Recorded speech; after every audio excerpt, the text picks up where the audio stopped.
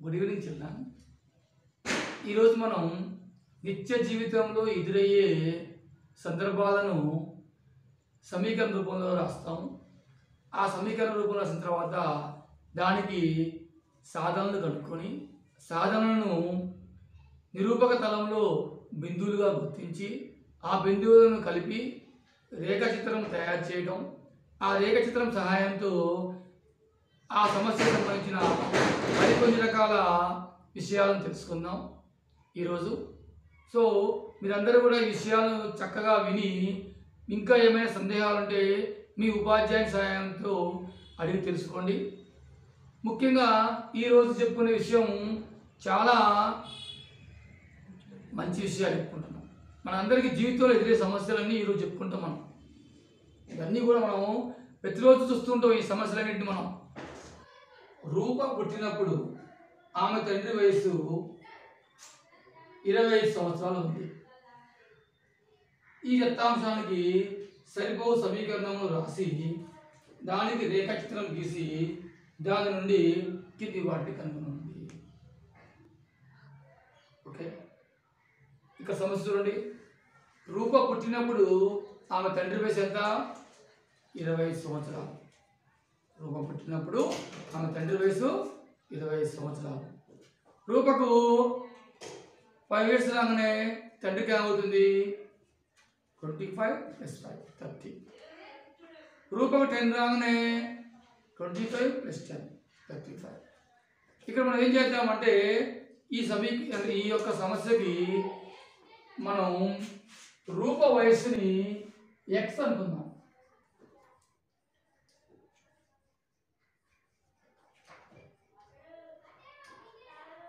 X సంవత్సరములు అనుకున్నాము అప్పుడు రూప తండ్రి వయసు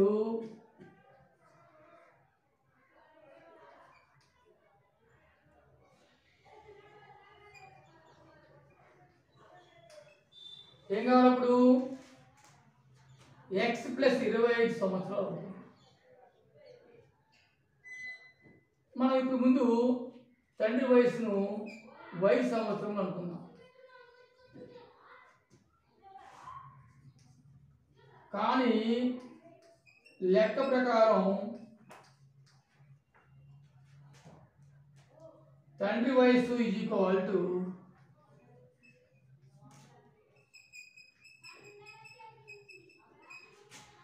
ఇరవై ఐదు ప్లస్ రూప వయసు ఎందుకని? రూప పుట్టినప్పుడు తండ్రి వయసు ట్వంటీ ఫైవ్ ఇయర్స్ ఉంది. కాబట్టి వై ఈక్వల్ టు ఇరవై ఐదు ప్లస్ ఎక్స్ ఎందుకు వేసుకున్నాము? ఇది అంటే ఇక్కడ రూప పుట్టినప్పుడు తండ్రి వయసు ఇరవై ఐదు సంవత్సరాలు ఉంది కాబట్టి. సో వై ఈక్వల్ టు ఇరవై ఐదు ప్లస్ ఎక్స్ రూప వయసు ఎక్స్ సంవత్సరం. తండ్రి వయస్సు వెయ్యి సంవత్సరం లెక్క ప్రకారం తండ్రి వయసు ఈజ్వల్ ఏం కావాలి? రూప వయస్సు ప్లస్ ట్వంటీ ఫైవ్ యాడ్ చేయాలి. ఎందుకు యాడ్ చేయాలి? రూపం పుట్టక ముందే తండ్రి పుట్టిండు. తండ్రికి అప్పుడు రూప పుట్టినప్పుడు తండ్రికి ఎంత ఉన్నాయి? ఇరవై ఐదు ఉన్నాయి. రూప పెరుగుతున్నది తండ్రి పెరుగుతున్నాడు. సో అప్పుడు ఏమవుతుంది? Roopa plus twenty five that y is equal to 25 plus x. So ఇప్పుడు ఈ సమీకరణాన్ని మనం సాధన కనుక్కుందాం. దీనికోసం మనం సాధన పట్టికని తయారు చేద్దాం.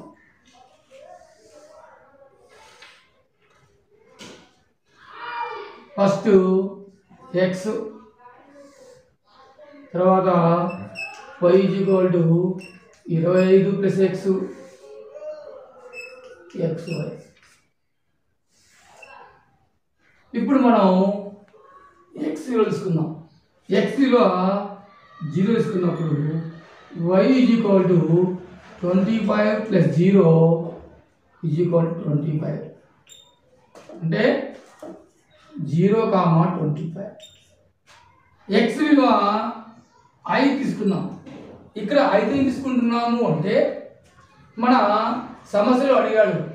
రూపకి ఇరవై ఐదు సంవత్సరాలు ఉన్నప్పుడు అన్నాడు. అంటే అర్థమైంది? ఇరవై ఐదు అంటే మనం ఇక్కడ ఒకటి తీసుకున్నాం అనుకోండి. ఒకటి రెండు మూడు నాలుగు తీసుకుంటే అక్కడ ఇన్ని గళ్ళు మన దగ్గర లేవు. ఇరవై ఐదు దాకా గళ్ళు లేవు మన దగ్గర. అందుకనే మనం ఏం చేద్దామంటే ఐదు మలుపులు తీసుకున్నప్పుడు మనం ఇక్కడ బిందువుని గుర్తించడం సులభంగా ఉంటుంది. అందుకనే మనం ఇక్కడ ఐదు తీసుకుంటున్నాం. ఒకటి రెండు తీసుకుంటాం వల్ల మన సమస్య వచ్చి ఉంది కాబట్టి ఐదు తీసుకుంటున్నాం so Y is equal to ఇరవై ఐదు ప్లస్ ఐదు దట్ ఈజ్ ఈక్వల్ టు ముప్పై. అంటే బిందువు ఏమవుతుంది? ఐదు ముప్పై. Next X is equal to పదిహేను తీసుకుందాం. అప్పుడు వై ఈజ్ ఈక్వల్ టు ఇరవై ఐదు ప్లస్ పదిహేను నలభై. సో బిందువు ఏమవుతుంది? పదిహేను నలభై.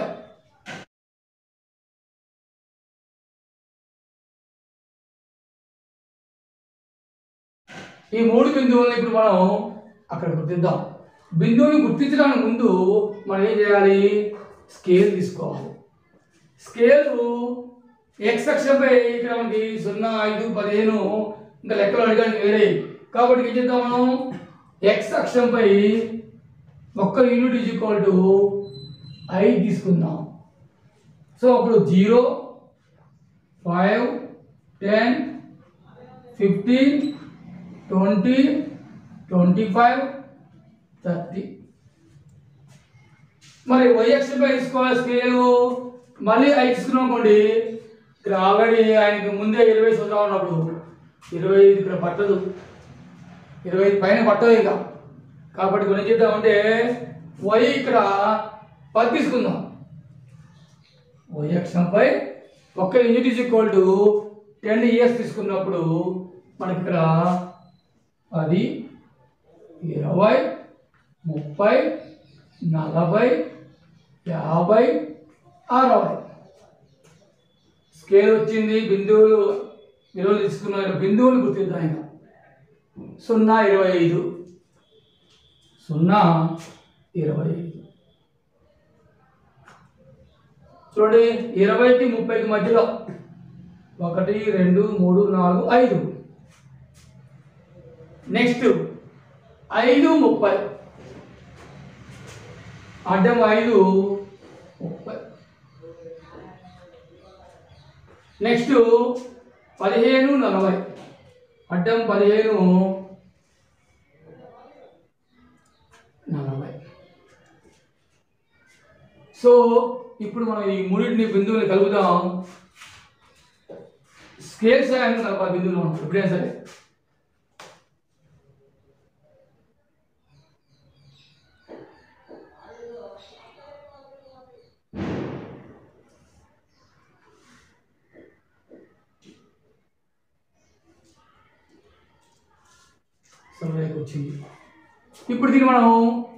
కొంచెం పొడిగిద్దాం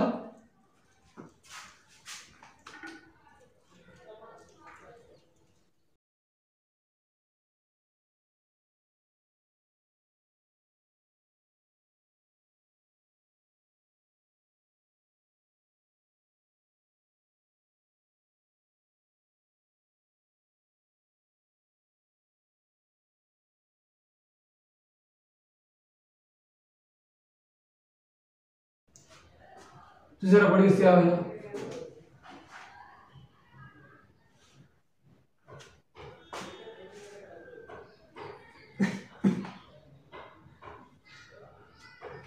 మరి ఇక్కడ సమస్యలు ఏమడిగారు లెక్కలు? లెక్కలు ఏమడిగారు చూద్దాం. ఈ గ్రేక చిత్రం సహాయంతో మనల్ని కొన్ని సమస్యలు అడిగాడు. అవి చూద్దాం.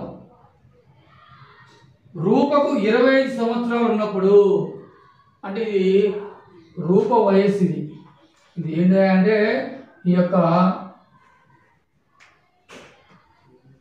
ఇది తండ్రి వయస్సు.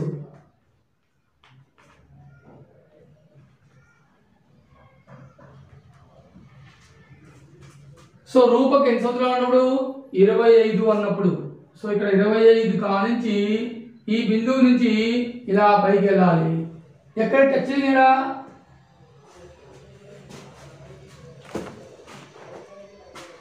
రెండు రూపాయలు ఇరవై ఐదు.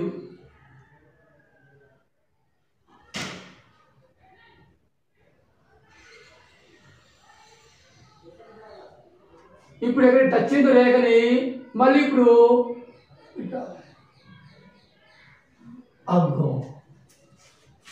తండ్రి వయసు ఎంతప్పుడు? యాభై సంవత్సరాలు. సో రూపకి ఇరవై ఐదు సంవత్సరాలు ఉన్నప్పుడు తండ్రి వయస్సు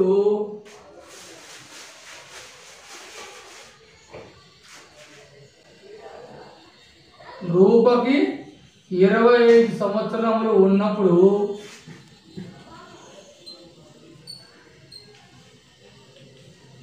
తండ్రి వయస్సు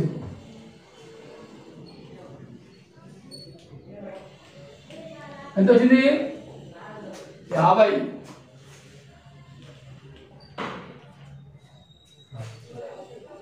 అదేవిధంగా ఇంకొకటి. ఇంకోటి ఏమన్నాడు? తండ్రికి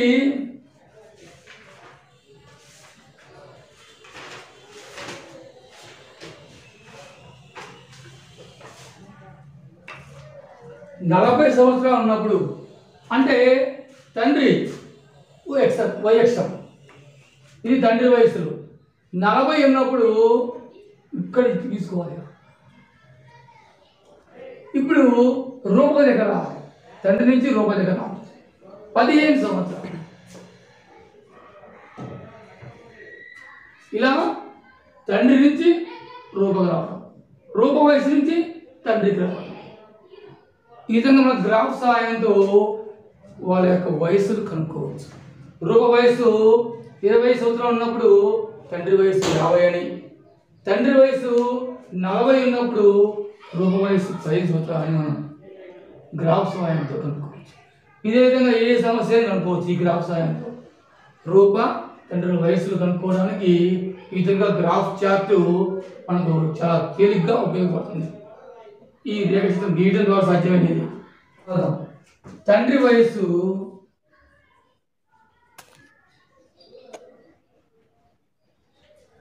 నలభై సంవత్సరపుడు రూప వయసు పదిహేను సంవత్సరాలు. ఓకే పిల్లలు ఇంకో సమస్యను చూద్దాం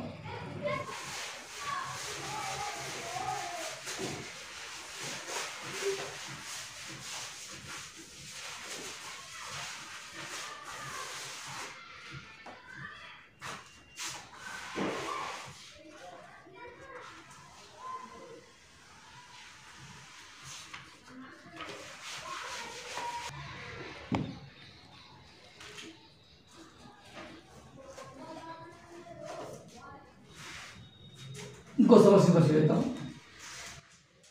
సమీరా కారు ఒకే వేగంతో గంటకు అరవై కిలోమీటర్ల వేగంతో నడుపుతుంది అయినా దూరము కాలములకు రేఖాచిత్రం గీసి దాని నుంచి ఈ కింది సందర్భాల్లో సమీరా ప్రయాణించిన దూరమును కనుగొను ఇది సమస్య? ఇక్కడ చూడండి కారు స్పీడ్గా పోతుంటుంది ఒకే వేగంతో పోతుంది ఇక్కడ. ఒకసారి స్లో పోయినా తక్కువ పోయినా ఎక్కువ పోయినా దాన్ని మనం ఎక్కువ ఇక్కడ ఒకే వేగంతో పోతుంది అనుకోవాలి. ఎలా పోతుంది అది? గంటకు అరవై కిలోమీటర్ల వేగంతో పోతుందంట సో అన్నప్పుడు మరి ఒక గంటకు అరవై కిలోమీటర్లు రెండు గంటలకు అరవై ఇంటూ రెండు రెండు ఇరవై కిలోమీటర్లు మూడు గంటలకు మూడు ఇంటూ అరవై రెండు కిలోమీటర్లు ప్రయాణం చేస్తుంది. అయితే ఇక్కడ మనం కారు వేగము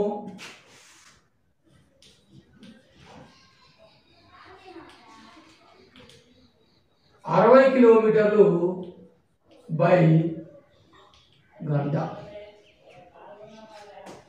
అయితే ఇక్కడ మనకి ప్రయాణించిన దూరము ఇవ్వలేదు ప్రయాణించిన కాలము ఇవ్వలేదు. ఇక్కడ మనం సమీర ప్రయాణించిన కాలాన్ని ఎక్స్ అనుకుందాం.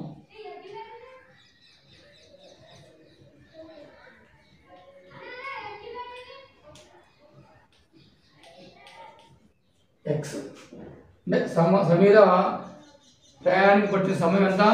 ఎక్స్ గంటలు. సమీర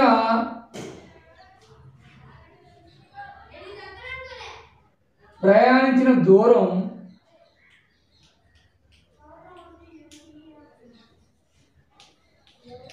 వై అనుకున్నాం వై కిలోమీటర్. మరి ఇక్కడ వాస్తవానికి మనకి ఫిజిక్స్లో వస్తుంది. దూరము ఈజ్ ఈక్వల్ టు ఏముంది? గుర్తుందా? వేగము ఇంటూ కాలం.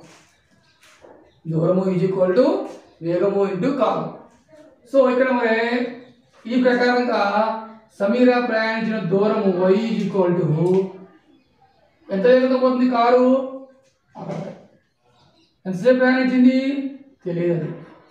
ఎక్స్ అరవై ఇంటూ ఎక్స్ అంటే వై ఈజ్ ఈక్వల్ టు అరవై ఎక్స్ ఇప్పుడు ఈ యొక్క సమీకరణానికి మనం ఏం చేద్దాం? సాధారణ పట్టిక తయారు చేద్దాం.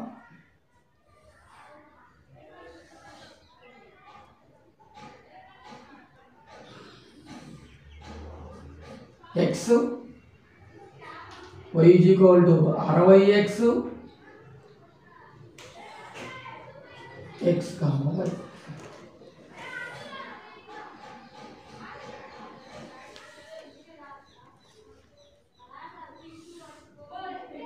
ఎక్స్ ఇక్కడ ఒక గంట అనుకుందాం. వై ఈజ్ ఈక్వల్ టు అరవై ఇంటూ ఒకటి. అరవై సో ఒకటి అరవై ఎక్స్ రెండు అనుకుందాం. వై ఈజ్ ఈక్వల్ టు అరవై ఇంటూ రెండు. నూట ఇరవై. ఎక్స్ ఇక నాలుగు అనుకుందాం. అరవై ఇంటూ నాలుగు. Two forty. సో నాలుగు టూ ఫార్టీ.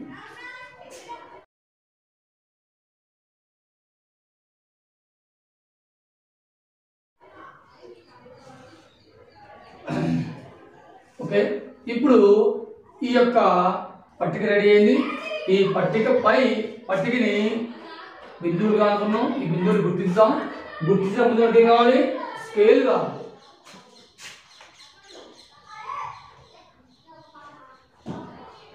ఎక్స్ అక్షంపై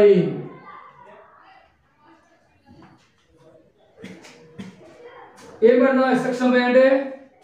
ఎక్స్ అక్షం అంటే ఎందుకు ప్రయాణించిన కాలం. సమీరా ప్రయాణించిన కాలము. వైఎక్స్ అంటే ఏంది? సమీర ప్రయాణించిన దూరం. అంటే ప్రయాణించిన ప్రయాణానికి పట్టిన కాలము. ఇది ప్రయాణించిన దూరం.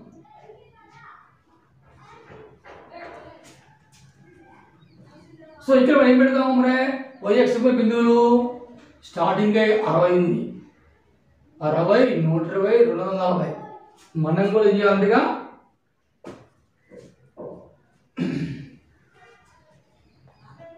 జీరో అరవై నూట ఇరవై. తర్వాత అరవై మూడు నూట ఎనభై. అరవై అరవై గ్యాప్. రెండు వందల నలభై. మూడు వందలు. మూడు వందల అరవై. ఇటు చెప్పుకున్నా ఒక ఒకటేని.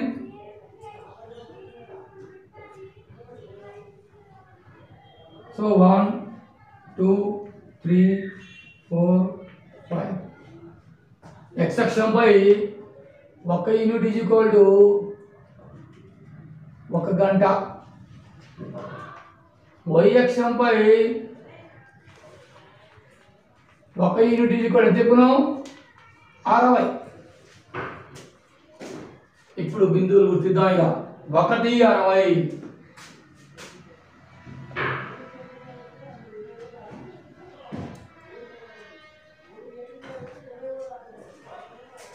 రెండు నూట ఇరవై.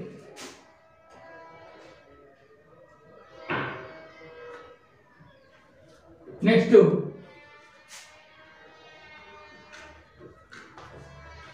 నాలుగు రెండు వందల నలభై.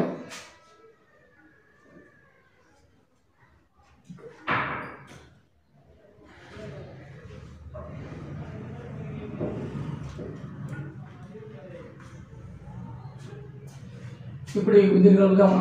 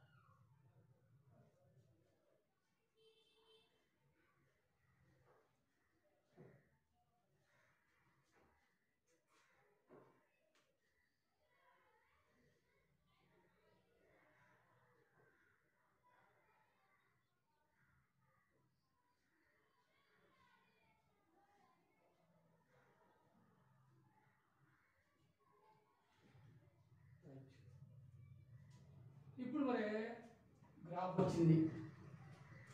గ్రాఫ్ వచ్చేసింది. ఏ రేఖ ఇది? వై ఈజ్ ఈక్వల్ టు అరవై ఎక్స్ రేఖ. ఈ గ్రాఫ్ సాయంతో మనల్ని కొన్ని ప్రశ్నలు అడిగాడు. ఒకసారి చూద్దాం. గంటన్నరప్పుడు సమీర ఎంత దూరం పోయినది గంటన్నరప్పుడు సమీర ఎంత దూరం ప్రయాణించింది?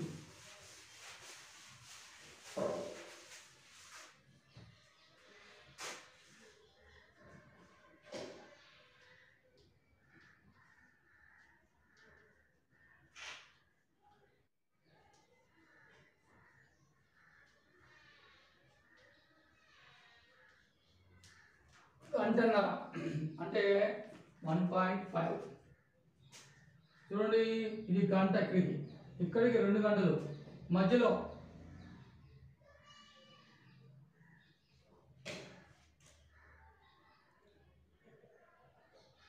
ఒకటి రెండు మూడు నాలుగు ఐదు.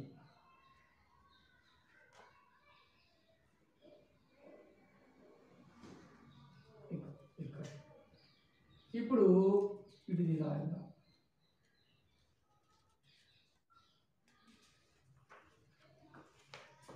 సో ఇది ఎంత అవుతుంది ఇది? ఒకటి రెండు మూడు నాలుగు ఐదు. అంటే పదిలో ఐదు ఉన్నాయి అంటే సగం. అరవై తర్వాత ఏంది? అరవై రెండు మధ్యలో. ఇది తొంభై. సో ఇప్పుడు ఏమవుతుంది మనకి సమీర గంటన్నర ఎంత పోతుంది? తొంభై కిలోమీటర్లు పోతుంది.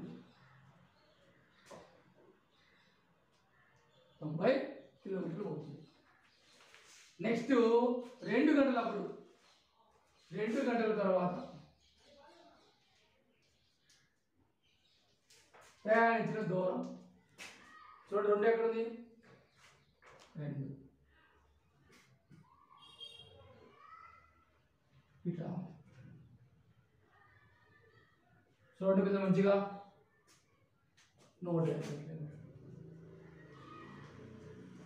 నెక్స్ట్ మూడున్నర గంటల తర్వాత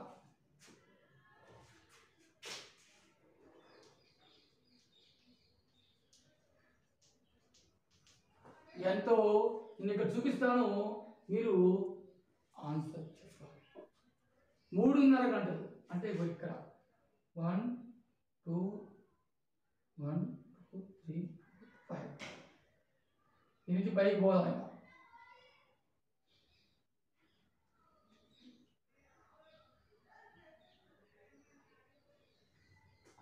ఇటు రావాలి.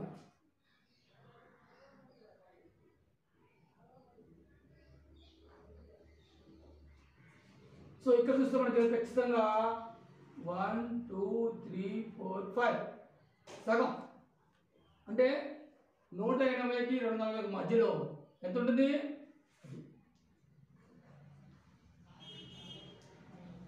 ఈ విధంగా మనం ఈ గ్రాఫ్ సహాయంతో ఏ సమ ఇచ్చిన సమస్యను సాధించినాం. ఇచ్చిన సమస్యను మనం సాధించినాం.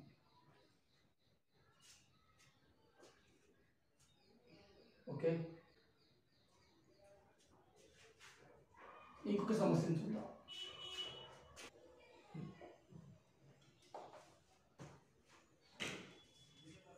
నీటిలో హైడ్రోజన్ మరియు ఆక్సిజన్ల అనుపరమ నిష్పత్తి ఒకటి ఇష్టు ఎనిమిది. అయినా ఈ సమాచారాన్ని తెలియజేయ సమీకరణను రూపొందించి దానికి రేఖచిత్రం గీయండి. దాని నుంచి ఆక్సిజన్ పరిమాణం పన్నెండు గ్రాములైన హైడ్రోజన్ పరిమాణమును హైడ్రోజన్ పరిమాణం మూడు బై రెండు గ్రాములు అయినప్పుడు ఆక్సిజన్ పరిమాణము కనుగొనం ఓకే చూడండి. నీటిలో ఏమి ఉంటాయి? హైడ్రోజన్ ఆక్సిజన్ ఉంటాయి. అయితే ఈ రెండు ఎలా ఉంటాయి? రెండు ఒకే విధంగా ఉండవు. ఈ రెండు వన్ ఇస్ టు ఎయిట్ నిష్పత్తిలో ఉంటాయండి. ఏమేంటివి? Hydrogen oxygen. వాటి యొక్క నిష్పత్తి ఎలా ఉంది? వన్ ఇస్ టు ఎయిట్ మరి దీనికి మనం సమీకరణం రూపొందించి పన్నెండు గ్రాములు అయినప్పుడు పన్నెండు గ్రాముల ఆక్సిజన్ ఉన్నప్పుడు హైడ్రోజన్ ఎంత? హైడ్రోజన్ పరిమాణం మూడు రెండు గ్రాములు ఉన్నప్పుడు ఆక్సిజన్ పరిమాణం ఎంత కనుక్కుందాం. ఓకే?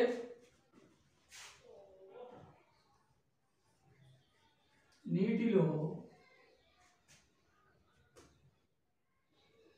హైడ్రోజను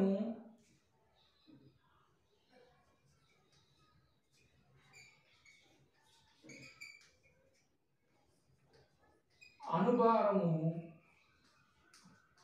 ఎక్స్ అనుకున్నాం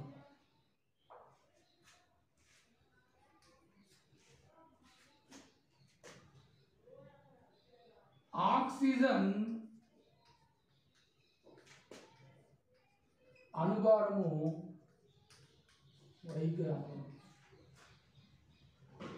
వీటి యొక్క నిష్పత్తి.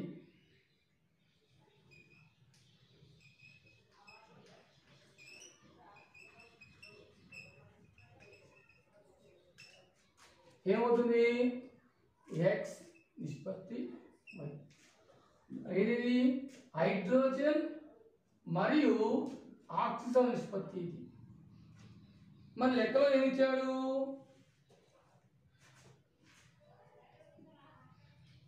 కానీ లెక్క ప్రకారం హైడ్రోజన్ కామ ఆక్సిజన్ నిష్పత్తి.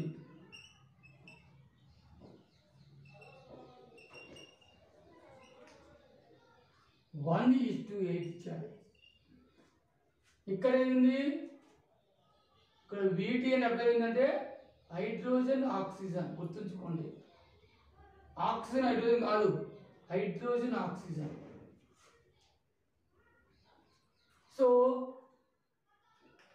x is to y is equal to one is to eight అంటే x by y is equal to one by eight cross multiplication చేస్తున్నప్పుడు y into one is equal to eight into eight అంటే y is equal to eight x ఇక్కడ ఇది సమీకరణం. Y is equal eight x అనేది సమీకరణం. ఈ సమీకరణానికి మనం ఏం చేయాలి? సాధనలు కనుక్కోవాలి. తద్వారా సాధన నుంచి సాధనలు బిందువులుగా అనుకొని కలంలో బిందువులు గుర్తించి బిందువుని కలుపుదాం. రేఖాచిత్రం వస్తుంది. ఒకసారి మనం ఇప్పుడు పట్టిక తయారు చేద్దాం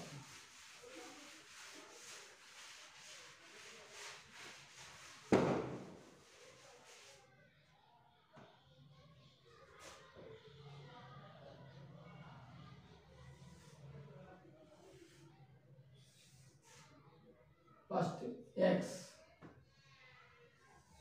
తర్వాత y is equal to eight x తర్వాత ఎక్స్ వై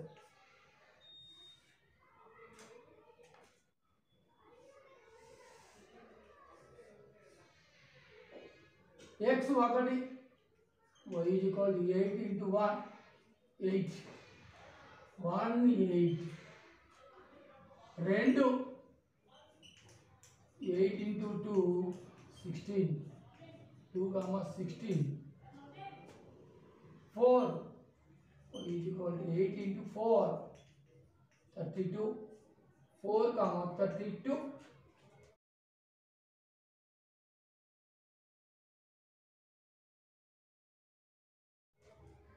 ఇప్పుడు బిందువులు వచ్చేసినాయి. నెక్స్ట్ ఏం కావాలి ఇప్పుడు? స్కేల్ కావాలి. ఎందుకంటే ఈ బిందువుని బట్టి మనం స్కేల్ నిర్ణయించాలి. ఆ విషయాన్ని ఎప్పుడు కూడా మర్చిపోవద్దు. టకటక బిందులు పెడతాం కాదు. అంటే మనం స్కేల్ నిర్ణయించాలి.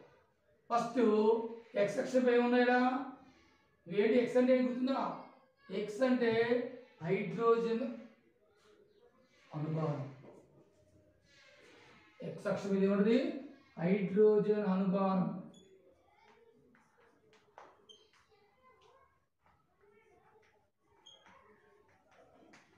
వై అక్షరం మీద ఆక్సిజన్ అనుభావం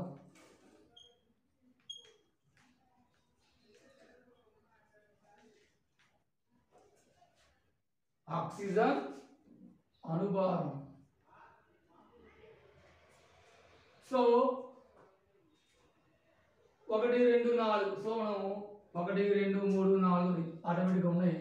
అంటే ఎక్స్ ఈక్వల్ ఒక ఒకటి మరి వైపు ఏం పెడదాం అన్నప్పుడు ఇక్కడ ఎనిమిది పదహారు ముప్పై రెండు.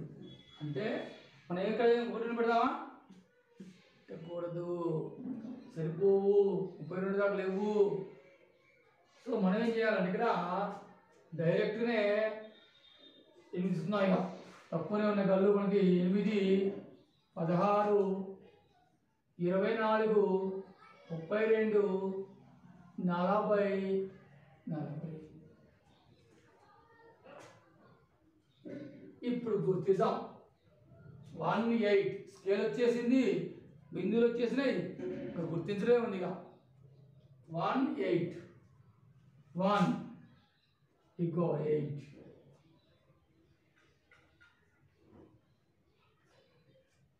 నెక్స్ట్. రెండు పదహారు. రెండు అడ్డం రెండు. నిలువు పదహారు ఇగో.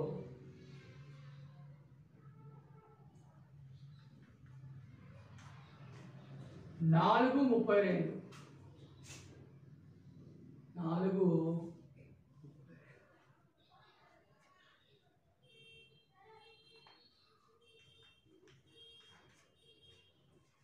ఇప్పుడు ఈ బిందువుల్ని కలుపుదాం స్కేల్ సాయంతో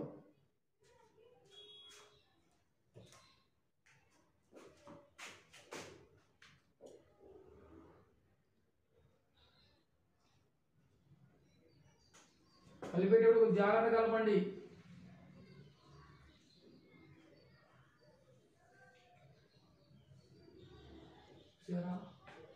తప్పు పోతుందని ఏమాత్రం స్కేల్ వందలు పెట్టినా కానీ మనకి తప్పు పోతుంది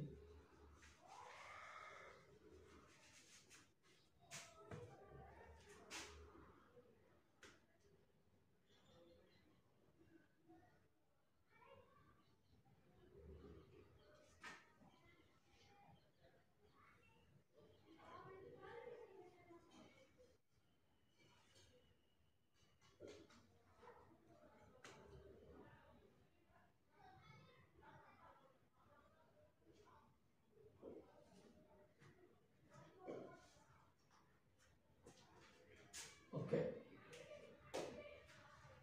గ్రాఫ్ వచ్చేసింది.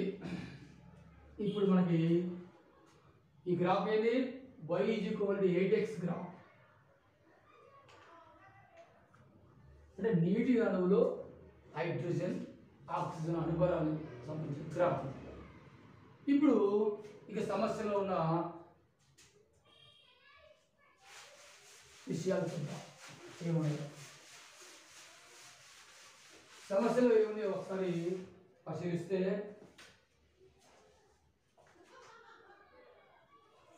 హైడ్రోజన్ పరిమాణము మూడు బై రెండు గ్రాములు అయినప్పుడు హైడ్రోజన్ పరిమాణం మూడు బై రెండు గ్రాములు అంట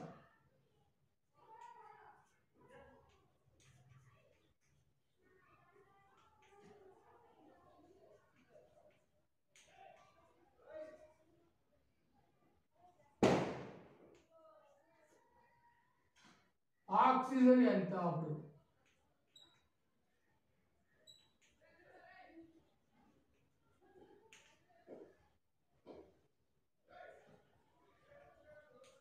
సో మూడు బై రెండు ఉందమ్మా వన్ టూ త్రీ మూడు బై రెండు. ఇది ఎందుకంటే మూడుకి నాలుగు మధ్యలో ఉంది కదా?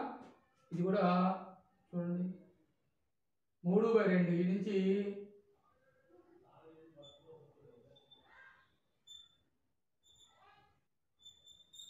ఇటు వస్తే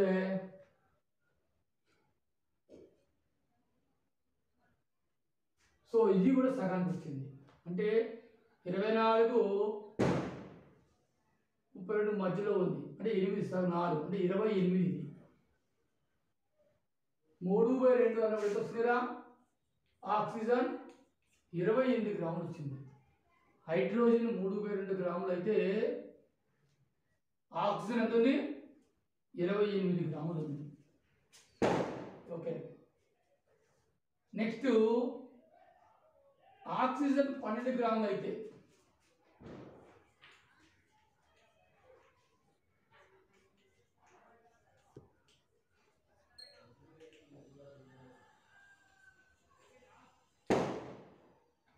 హైడ్రోజన్ పరిమాణం.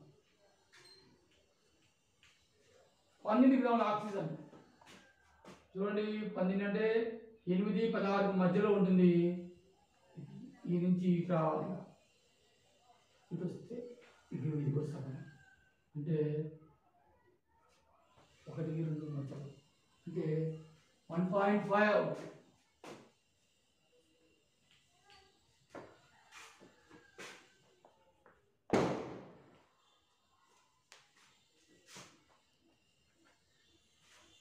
one point five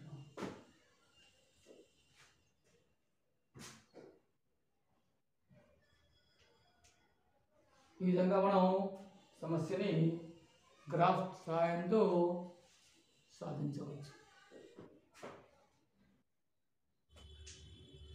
okay children మనం ఇంతవరకు అనేక రకాల సమస్యలను గ్రాఫ్ ద్వారా సాధించినాం. వీటన్నిటిని మనం ఒకసారి పరిశీలిస్తే ఫస్ట్ మనం ఏం చేయాలంటే ఇచ్చిన సమస్యను క్షుణ్ణంగా చదవాలి. ఇచ్చిన సమస్యను క్షుణ్ణంగా చదివి పరిశీలించిన తర్వాత అందులో ఏ విషయం డిపెండ్ అవుతుందో ఏ విషయం డిపెండ్ కావట్లేదో అర్థం చేసుకొని అక్కడ మనం ఎక్స్ వై అనుకోవాలి. ఎక్స్ వై అనుకోవాలి. అనుకున్న తర్వాత దాన్ని బట్టి మనం సమీకరణం తయారు చేయాలి. సమీకరణం తయారు చేయాలి. ఆ సమీకరణం బట్టి సమీకరణాన్ని వైజీ కోడ్ రూపంలో రాసుకోవాలి. తర్వాత సాధనల పట్టిక తయారు చేయాలి.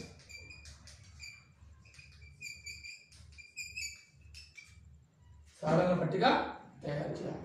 ఈ పట్టికలో కూడా పాయింట్ రాకుండా చూసుకోండి.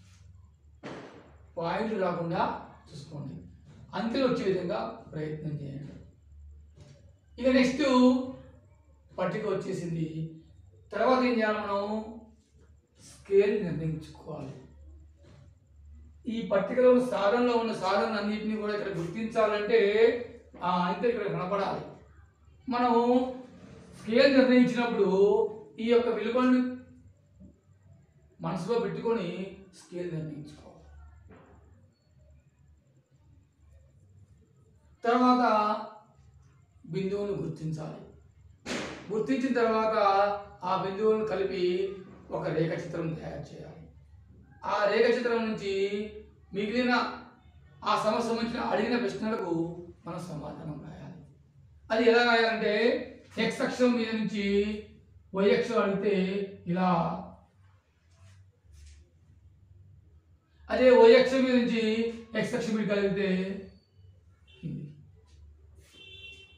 ఇలా మనం అడిగిన ప్రశ్నలకి గ్రాఫ్ ద్వారా మనం చూపించవచ్చు. మీరందరూ కూడా ఇలాంటి సమస్యలు ఇంకా ఎన్నో పుస్తకంలో ఉన్న వాటిని చేసి ఇంకా ఏమైనా డౌట్స్ ఉంటే మీ ఉపాధ్యాయుని అడిగి తెలుసుకోండి. నమస్కారం.